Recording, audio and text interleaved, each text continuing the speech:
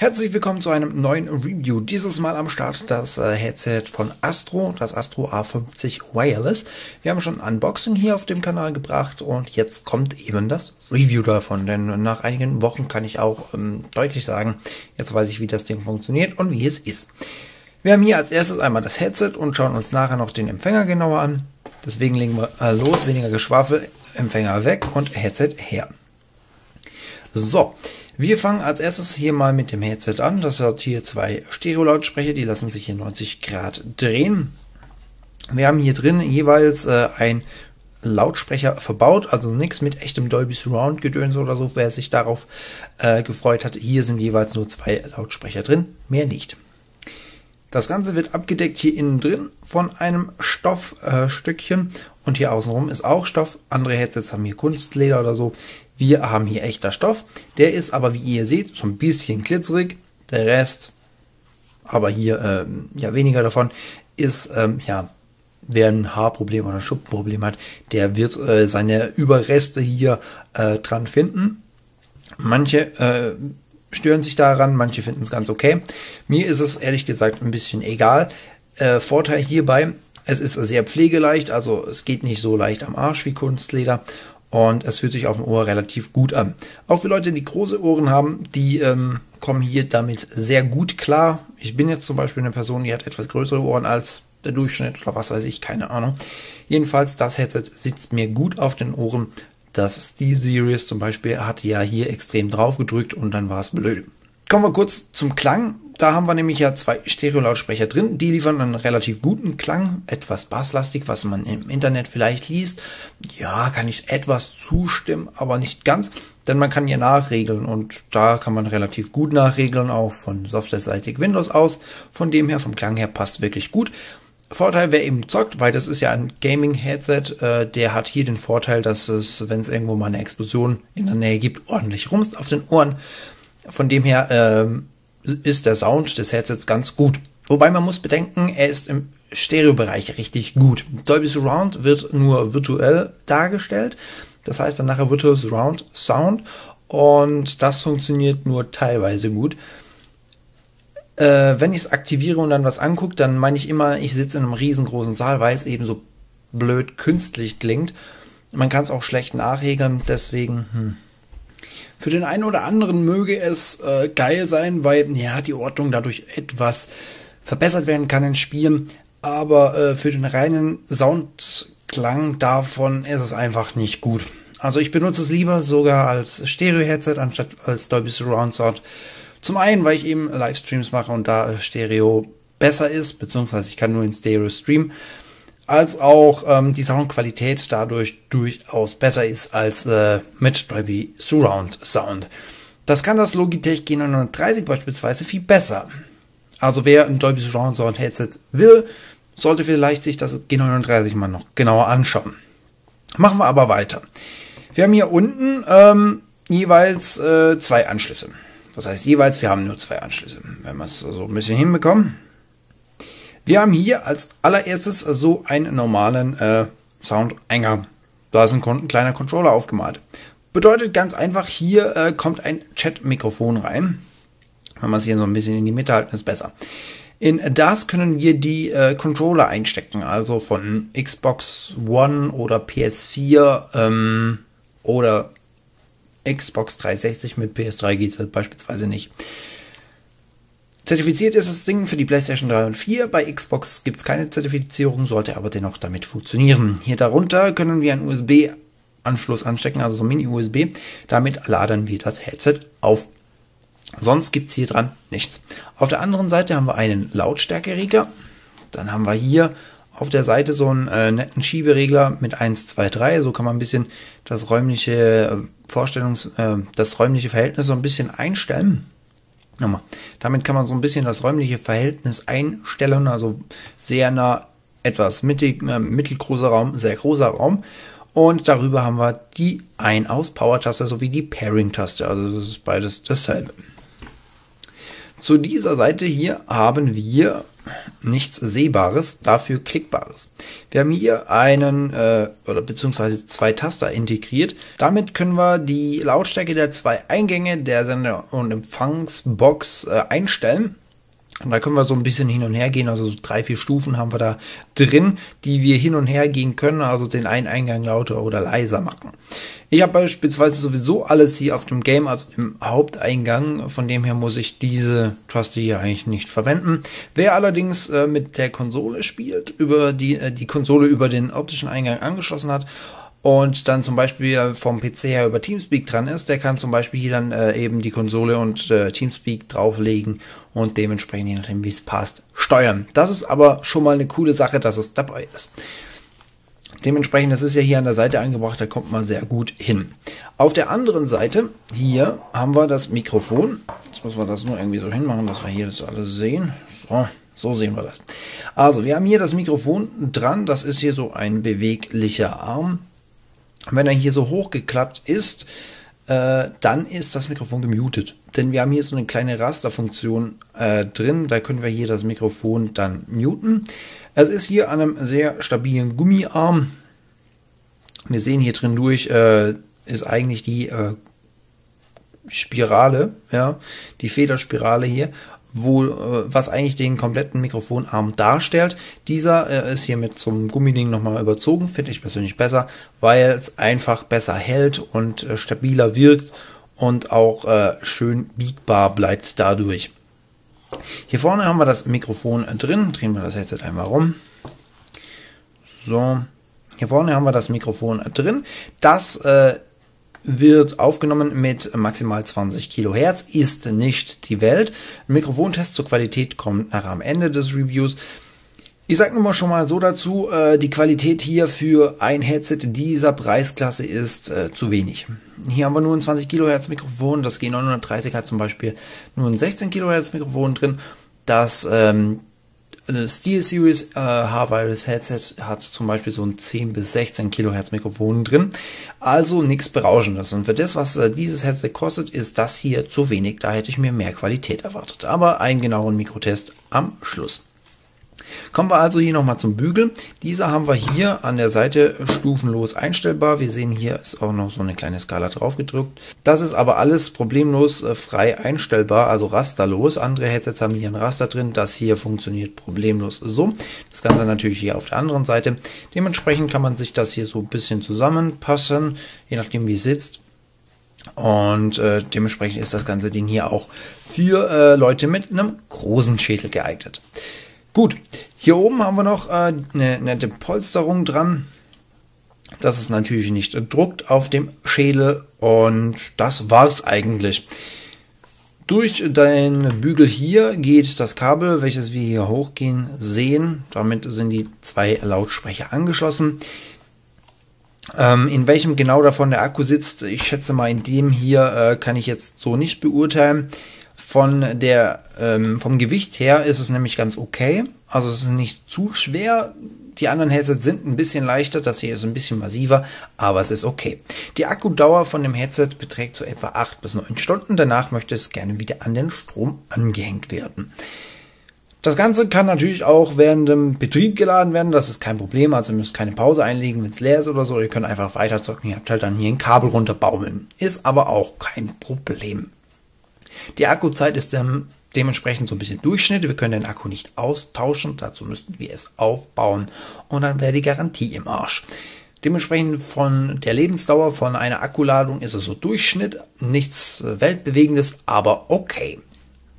Wer eventuell sich einen neuen Akku einlöten möchte, sollte es tun, hat aber dementsprechend keine Garantie mehr. Je nachdem, wie lange der Akku hält, das wird sich jetzt der Langzeittest dann äh, zeigen, muss man vielleicht nach zwei, drei Jahren einen neuen Akku haben oder sich ein neues Headset kaufen.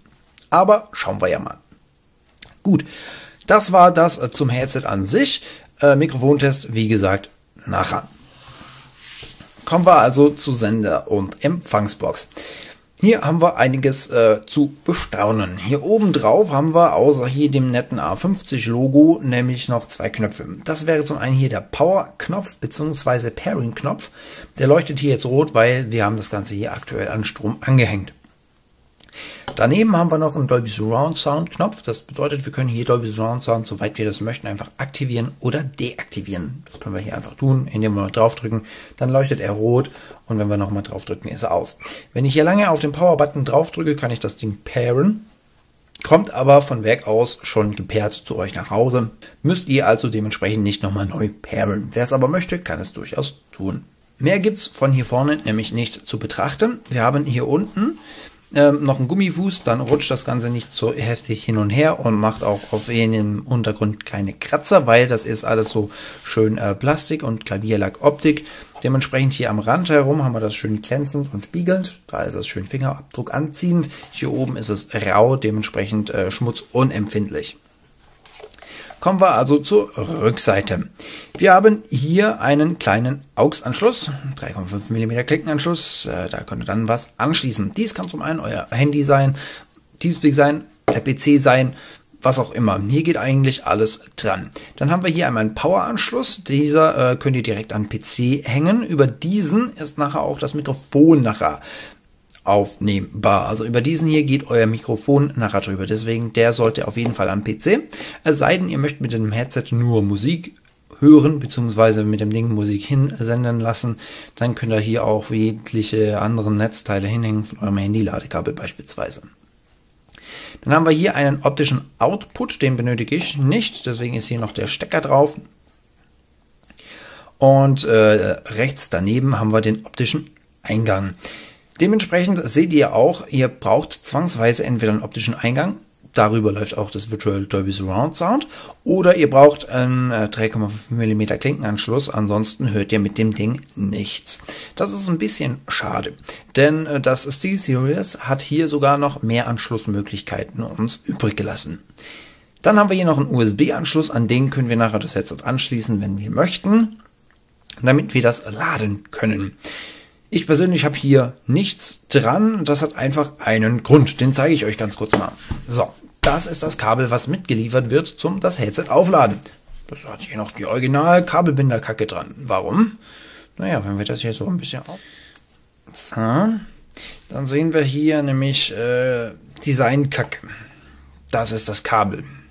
Das hat etwa eine Länge von 50 cm. Wo zur Hölle soll ich mit diesem Kabel hin? Also, keine Ahnung, mit äh, den 50 cm für ein Ladekabel ist es eindeutig nicht gut getan. Das andere Kabel, was hier reingeht, das ist äh, circa einen Meter lang, aber dennoch, äh, das muss an PC und das hier ist dann fürs Ladekabel eigentlich gedacht. Dementsprechend hier äh, gibt es richtige Abzüge von mir, weil äh, hier muss ich entweder hier dranhängen und die Box direkt, äh, keine Ahnung, mir auch ans Ohr hängen.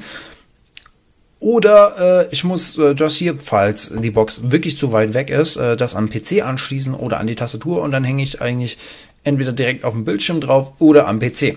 Auch kacke, ne? Also das Kabel hier kann eigentlich direkt im Müll. Äh, ja, zum Handy aufladen ist das nämlich auch gut. Ja, das könnten wir verwenden. Aber weg. Dementsprechend äh, haben wir hier hinten nichts mehr dran. Auch an der Seite hier gibt es nichts. Äh, dementsprechend ist das so fertig. Mehr gibt es nicht. Wir haben zwar noch einen Ständer, wo wir das Headset draufhängen können, aber der reißt das Ganze auch nicht mehr raus. Kommen wir also schlussendlich noch zum Mikrofontest und dann zum schlussendlichen Fazit des Headsets. Dies ist also äh, nachher die tatsächliche Mikrofonqualität des 20 Kilohertz Mikrofons des Headsets. Wir sind hier aktuell in der Windows-Systemsteuerung und ich möchte hier euch einfach nur zeigen, dass wir, was ich am Anfang jetzt hier nicht direkt gesagt habe, zum einen die Möglichkeit haben, das Ganze über USB auszugeben. So haben wir das hier aktuell angeschlossen. Und wenn wir hier reingehen, dann sehen wir das Ganze auch hier dran stehen. Also hier steht eben USB. Hier haben wir dann auch die Möglichkeit, das Ganze noch ein bisschen anzupassen und wir haben hier dementsprechend auch nur einen Stereo-Ausgang dran. Der optische Anschluss, den haben wir hier. Habe ich jetzt ein bisschen umgeschrieben. Wir sehen hier auch LR-hinteres Bedienfeld optische Buchse. Und wir haben hier dementsprechend nur Dolby Digital, DTS Audio sowie Microsoft WMA Pro Audio funktioniert nicht im Frequenzbereich äh, von 44.100 Hertz sowie 48.000 äh, Hertz. Der Pegel haben wir hier dementsprechend voll aufgedreht. Dieser sollte hier immer voll aufgedreht sein, da die Pegelsteuerung am Headset selbst keine Auswirkung hat auf die Pegelsteuerung von Windows. Die sind komplett getrennt. Wir können hier in Verbesserungen zwar noch ein bisschen was einstellen, also auch der Virtual Surround Sound. Ich persönlich habe ihn aber wie gesagt ausgeschaltet. Bei Erweitert haben wir hier eben noch die Möglichkeit, das Ganze einzustellen, äh, eben mit zwei Kanal. Hier unten das DTS in der Active 5.1 Surround funktioniert beispielsweise bei mir nicht. Dann äh, funktioniert nämlich das Headset nicht und Windows gibt mir einen Fehler aus. Wir können hier dementsprechend nur von 16 und 24 Bit die äh, Frequenzen 44.100 Hertz und 48.000 Hertz verwenden. Mehr geht nicht. Kommen wir also kurz noch zum Mikrofon. Das haben wir hier. Wir haben hier natürlich das äh, Astro Wireless Transmitter Ding. Das steht natürlich dran, weil das Mikrofon ist, wie wir hier erkennen können, über USB angeschlossen. Das bedeutet, wir können nicht das Mikrofon über den AUX-Eingang äh, raussenden lassen oder über den optischen Ausgang. Das funktioniert hier nicht. Wir sehen auch, wenn wir hier auf Pegel gehen, das Ganze habe ich auf 100%. Also das hier, was ihr hier hört, ist die maximale Lautstärke, was man einstellen kann. Bei erweitert sehen wir zwar, dass es hier ein Einkanal, also Mono-Mikrofon bei 16-Bit und 48.000 Hertz ist. Das können wir auch nicht verändern. Tatsächlich kommen aber wirklich nur die 20 1000 Hertz an. Also äh, ja, das was hier steht, ist eben der Windows Standard Treiber. Hier können wir nichts einstellen. Gut, kommen wir also zum äh, schlussendlichen Fazit des Headsets. Für den Preis von rund 300 Euro könnt ihr dieses Headset euer eigen nennen. Ich habe ein bisschen weniger gezahlt, je nachdem wann ihr es kauft, kann es sein, kommt ihr auch ein bisschen günstiger dran. Der Sound an sich ist relativ gut das Headset, soweit man es eben nur im Stereo-Bereich verwendet. Die Akkulaufzeit ist durchschnittlich. Der Empfang von etwa 15 Meter auch durch Wänden durch, je nachdem was ihr eben für Wände habt, ist auch ordentlich. Und äh, das Mikrofon ist für Teamspeak und für eventuelle Livestreams oder gelegentliche Aufnahmen auch komplett ausreichend. Da kann man echt nichts sagen. Der Sitz ist bequem auf dem Kopf und die Ausstattung an sich ganz okay. Man äh, hört nichts knistern, man hört nichts knattern im Funk, dementsprechend äh, haben wir auch eine sehr gute Sendeleistung. Allerdings der Preis stimmt eben bei diesem Headset nicht. Wir haben hier als Vergleichskandidaten ein G930 mal da. Ich habe es da, habe es getestet und wenn ich beide wirklich nebeneinander setzen muss, dann würde ich eher das G930 nehmen. Zum einen, es kostet wirklich nur mal die Hälfte, was schon mal einen riesen Pluspunkt gibt. Zum anderen hat es zwar ein bisschen ein schlechteres Mikrofon wie das, aber im Dolby Surround Sound kann dies auch schon wieder etwas mehr punkten. Wer also ein qualitativ hochwertig verbautes Headset möchte, der kann gerne mal zuschlagen und es selbst einmal ausprobieren. Wer etwas äh, nicht so flüssig ist auf dem Konto, der sollte vielleicht doch lieber das G930 nehmen, damit wäre er genauso zufrieden. Das wäre also mein Review jetzt hierzu mal gewesen. Ein genaueres Review sowie auch von den anderen Headsets findet ihr unten als äh, Link zu der Game Mania Homepage. Einfach mal durchlesen, vielleicht findet ihr es ja auch interessant und könnt euch ein besseres Bild von den Headsets machen. Wenn noch Fragen da sind, könnt ihr diese unten in den Videokommentaren stellen. Ich versuche sie zu beantworten, so gut wie es geht. Wenn's, äh, wenn das Review hier gefallen hat, dann Däumchen nach oben. Würde mich auf jeden Fall freuen. Ein Abo hinterlassen könnt ihr auch natürlich. Link zum Headset findet ihr auch unten in der Videobeschreibung, falls ihr es kaufen möchtet. Bei jedem Kauf über Amazon, da unterstützt ihr mich ein kleines bisschen, auch mit diesem Kanal. Bis dahin äh, freut mich, dass ihr bis jetzt zugeschaut habt. Äh, haut rein!